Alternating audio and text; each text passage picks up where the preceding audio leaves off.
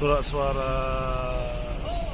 pemilihan di Kota Tanjung Pinang telah sampai di kantor eh, KPU Kota Tanjung Pinang.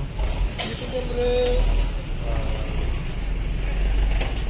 menggunakan dua truk sekaligus informasinya kurang lebih suara ini ribuan baik itu untuk memilih DPRD kota DPRD provinsi DPRD RI DPD RI dan presiden dan wakil presiden.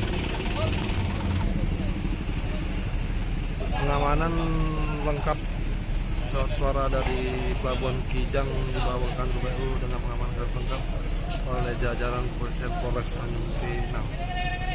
Dan Pak Sore dijemput oleh lima komisioner KPU Kota Tanjung Pinang dan saat ini proses menurunkan surat suara dari truk ke gudang logistik KPU Tanjung Pinang.